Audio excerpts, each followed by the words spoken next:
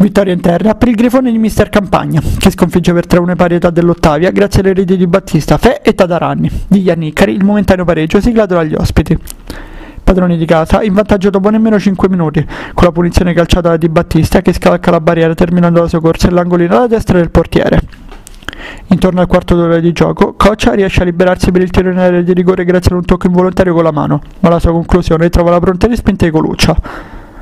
Alla prima vera occasione, gli ospiti rimettono in equilibrio il punteggio. Sugli sviluppi di un calcio di punizione, Ianniccari si getta sulla respinta della traversa, siglando di testa il momentaneo 1-1.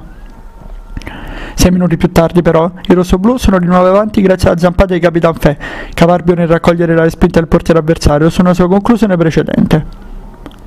Per ora del duplice fischio, Ianniccari riesce a svettare più in alto di tutti sul secondo palo, trovando solo l'esterno della rete che dà l'illusione del gol sugli spalti. A trovare il raddoppio nella ripresa, però, sono i ragazzi di campagna. Tatarani riesce a scappare in contropiede dalla difesa avversaria e una volta giunto in area di rigore, fulmina Coluccia con un tiro in diagonale che colpisce il palo prima di terminare la scorsa in fondo alla rete.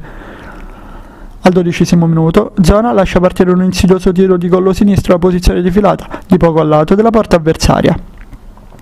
Ottavia che prova a reggere pochi istanti più tardi, con il tiro d'ottima posizione di Costantini, deviato da un pronto intervento di Romagnoli. Rosso-blu ad un passo al poker intorno alla mezz'ora, quando Zora serve con un passaggio illuminante Marchetto, ma la conclusione numero 16 viene respinta da Coluccia. Nel finale, gli ospiti vanno vicinissimi a riaprire il match. Periano libera con la Iacomo sulla fascia sinistra, che prova immediatamente la conclusione di disinnescare in angolo da Del Villano.